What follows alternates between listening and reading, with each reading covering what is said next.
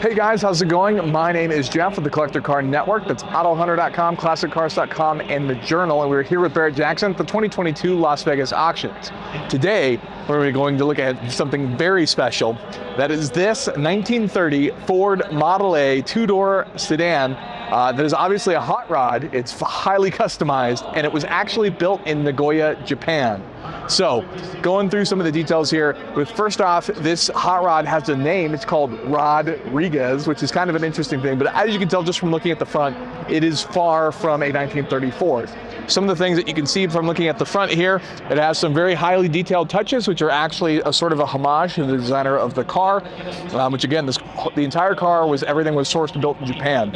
And then these uh, headlights here are actually from a 1959 Cadillac. So if you were wondering if they looked a little bit familiar, there you go. They've of course been uh, slanted, turned sideways, and added to the front. This car is powered by a 49 Oldsmobile rocket engine, which is producing approximately 303 horsepower and is hooked up to a four-speed Hydramatic transmission.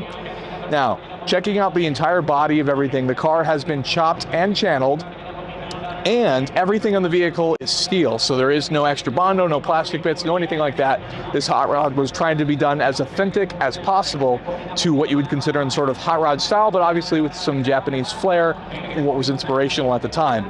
Now, as you can see, this car actually does have disc brakes um, and a lot of other modern amenities and features for what you would want to see in your hot rod to make sure it feels safe, even though the original body and everything was built in the 1930s. Getting into the interior here is one of the other crazy things. No matter where you look, the car is just full of surprises.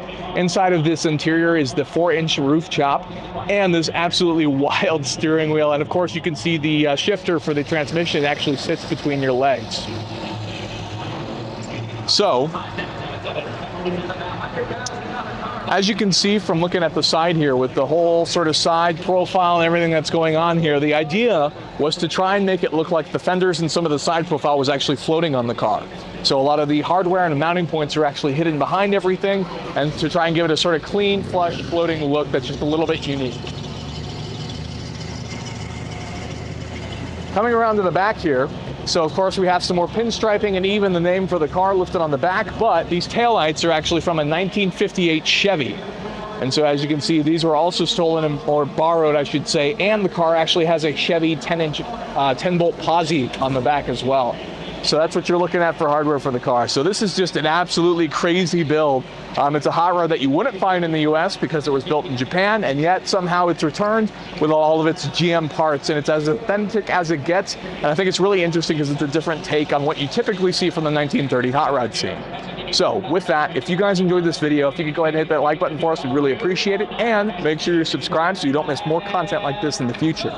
If you're looking for a collector vehicle of your own, be sure to check out our online auction, AutoHunter.com. Or if you're looking for a marketplace, check out ClassicCars.com, our sister site, which has over 35,000 cars currently on the site. With that, thank you so much for watching.